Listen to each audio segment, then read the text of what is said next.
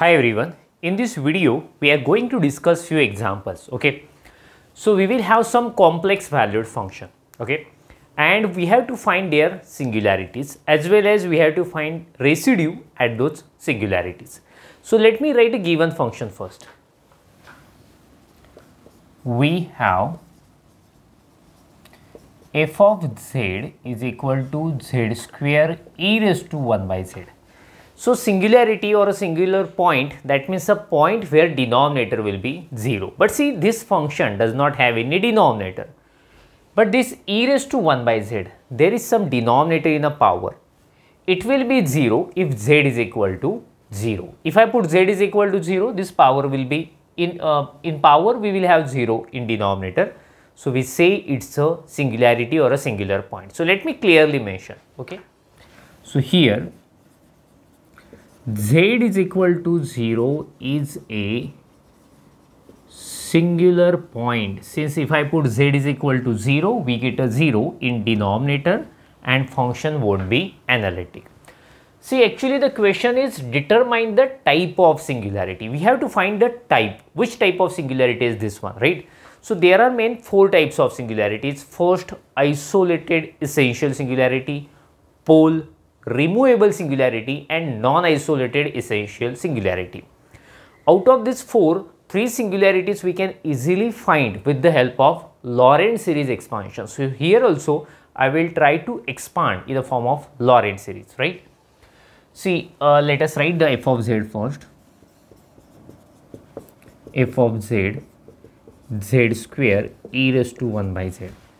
So now how to find Laurent series expansion? So here we try to find out the standard series.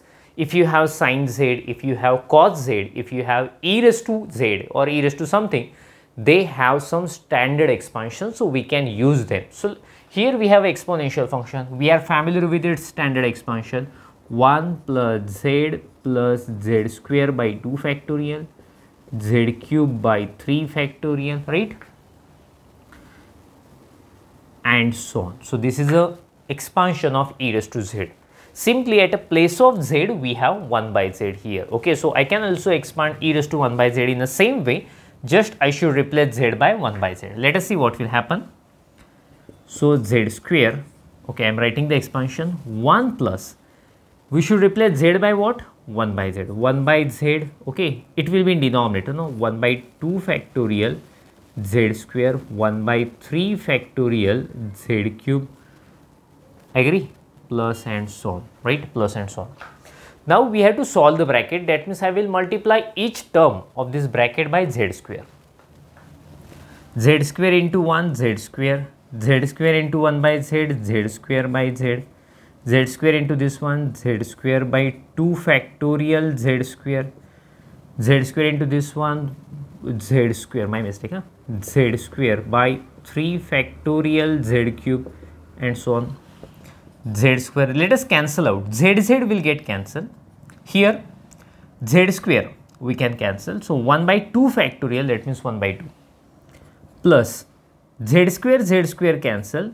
3 factorial that means 3 into 2 into 1 which is 6 z plus and so on okay so after that we will find out the real part and analytic part. So this is Laurent series expansion. Real part that means a part where z will be at numerator. This is the real part. The real note analytic part right? And uh, principal part. Principal part that means a part where the z will be a denominator. So this is a principal part. Okay. So this principal part is so much crucial for us with the help of principal part we determine the type of singularity right if principal part having infinitely many terms we call it as isolated essential singularity if the principal part having finitely many terms 2, 3, 4 like that. So we say it's a pole of order n. If there is no any principal part, there is no any term in a principal part, then we call it as a removable singularity. So here in a principal part, how many terms are there? Infinitely many terms are there. It is not terminating anywhere. So let me mention here principal part of Laurent expansion as infinite terms okay so infinite terms so if the Laurent expansion has infinite terms we call it as isolated essential singularity. Therefore z is equal to 0 is isolated essential singularity. So here we are not getting pole. Getting not getting pole. We are getting isolated essential singularity our next task is to find corresponding residue so let us find residue so residue of f of z at this point z is equal to 0 so in previous videos we have already seen, okay, uh, let me remove this part, it is not required, no? We will have some more space to write, okay. In previous videos we have already seen what is residue and how to calculate. Actually residue has a definition which is uh, defined with the help of Laurent series expansion. But see if you have a pole, we have very simple formula, two simple formulas to calculate residue. But see here we are not getting pole, we are getting isolated essential singularity. So I will follow the definition of residue. The definition of residue says residue is nothing but B1. Now what is B1? B1 means coefficient. In a Laurent series expansion, coefficient of 1 by z minus z naught. So this is definition of B1 in a Laurent series expansion. But see, we are finding series about 0. So, my z naught is 0. So, that means simply we can say it's a coefficient of 1 by z. So, let us find what is coefficient of 1 by z. Coefficient of 1 by z is 1 by 6. So, that's why the residue is 1 by 6. So, in this way we calculated residue of f of z. Okay.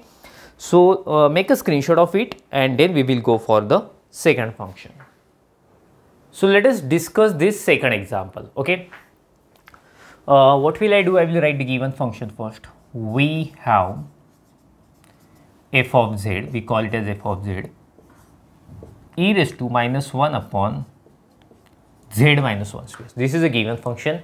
We have to find a singular point. That means the point where function is not analytic. Generally what we say, if any particular point denominator is 0, then that will be a singular point here this function has no any denominator but obviously in a power we have some denominator.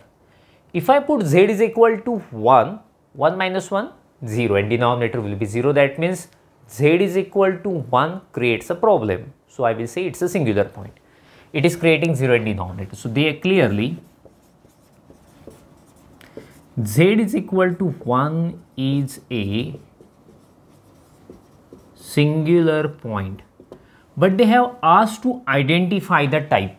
Okay? We have to find the type of singularity. There are four types of singularities. Isolated essential singularity pole and next removable singularity and non-isolated essential singularity okay?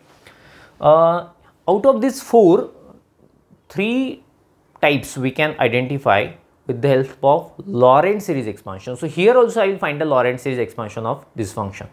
Let me write f of z now. F of z e raised to minus 1 upon z minus 1 square okay so uh, here we have very standard function e raised to z just like last example. Its expansion is 1 plus z plus z square by 2 factorial z cube by 3 factorial and so on okay? So but at a, sorry sorry sorry sorry sorry. We have a minus sign here no? If you have a minus sign here sign will be alternate plus and minus okay? So we have a sign like this so now what will I do? I will find the expansion of this function also. Just at a place of z we have 1 upon z minus 1 square okay? Let us see what will happen. 1 will be as it is minus. At a place of z what we have? 1 upon z minus 1 square plus sign is there. 2 factorial uh, let me write it this way 2 factorial z square, its square, getting its square. So its square, it is in denominator. So it will be 1 upon z minus 1 square. Already square is there and one more square we are taking that means raised to 4 minus 1 by 3 factorial. It will be in denominator. So 1 upon its cube. Already we have square and taking its cube that means raised to 6. z minus 1 raised to 6. Let me write properly. 1 minus 1 upon z minus 1 square plus 2 factorial means 2 no? 2 z minus 1 raised to 4 it is 3 factorial means 6 z minus 1 raised to 6 okay and so on. So let me remove this one. Okay. See uh, let actually this is a Laurent series expansion and it is made up of two parts principal part and analytic part. Okay, the principal part is so much important for us. Analytic part means what? Where the bracket lies at numerator. So, and principal part where the bracket lies in denominator. So, in all these terms, bracket lies in denominator. So, this is our principal part and this is our analytic part. So, if the principal part has infinitely many terms, then we call it as isolated essential singularity just like a last example okay? So here also there are infinitely many terms. That principal part is not terminating anywhere. So we say it is a isolated essential singularity okay? So let me clearly mention. Principal part of Laurent expansion has infinitely many terms.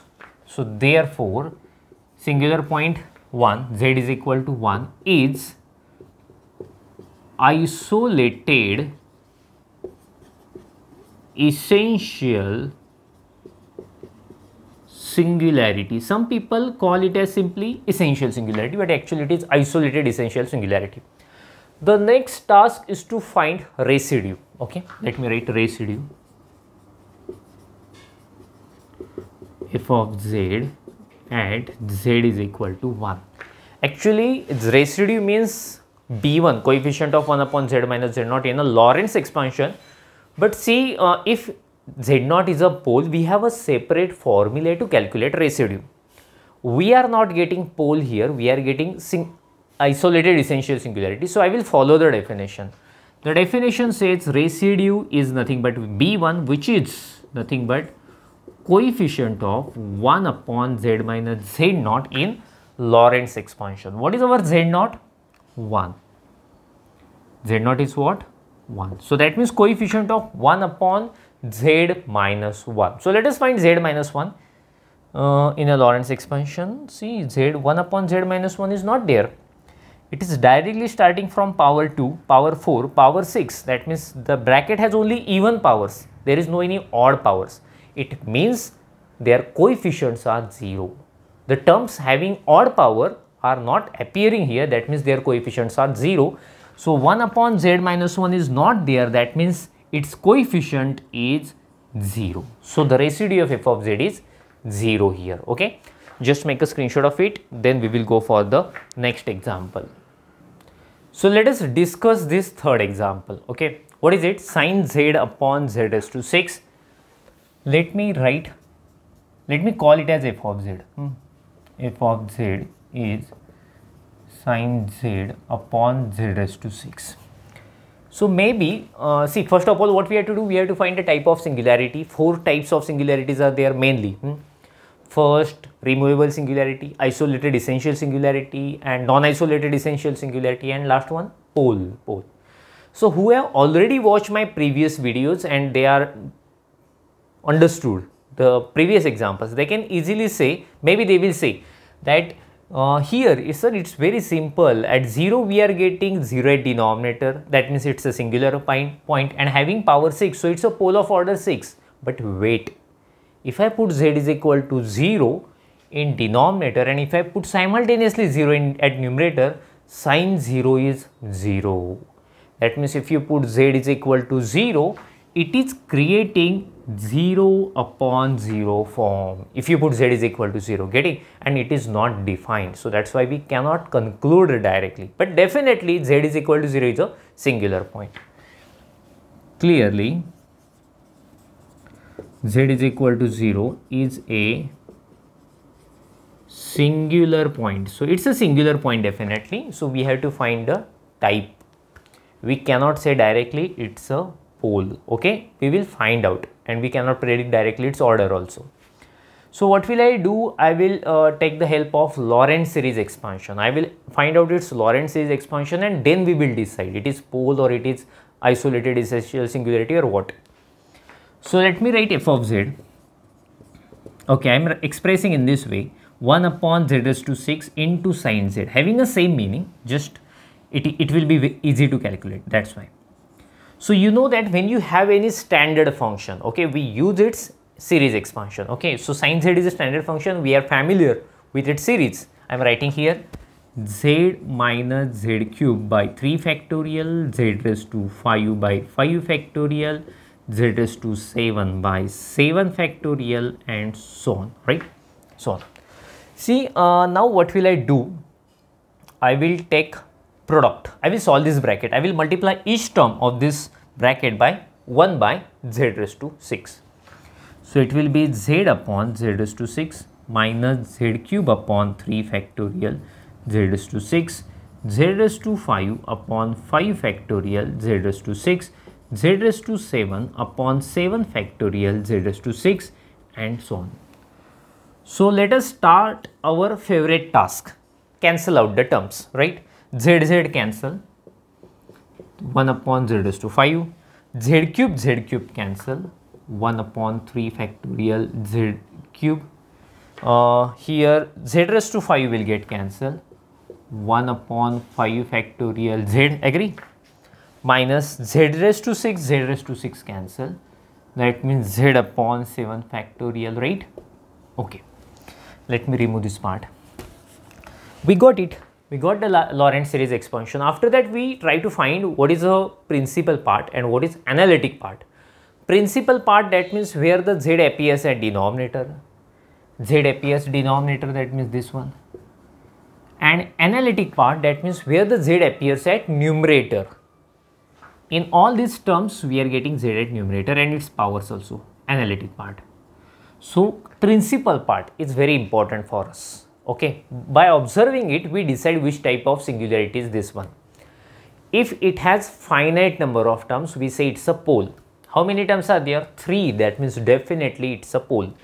So therefore, therefore z is equal to 0 is a pole of order okay so if it is a pole we have to find its order also what is the highest power of z here? 5 so that's why. It's a pole of order 5 so in this way we found out the type of singularity. The next task is to find residue let me write. Residue of f of z at z is equal to 0. If you have a pole, we have very simple formula to calculate residue, getting? If it is a pole. And fortunately we have got a pole, we can use the formula to calculate residue but see I will go for the definition. Since in a definition Laurent series is involved and we have already calculated Laurent series. So what is uh, definition says the residue of f of z is simply b1 that means coefficient of 1 upon z minus z naught.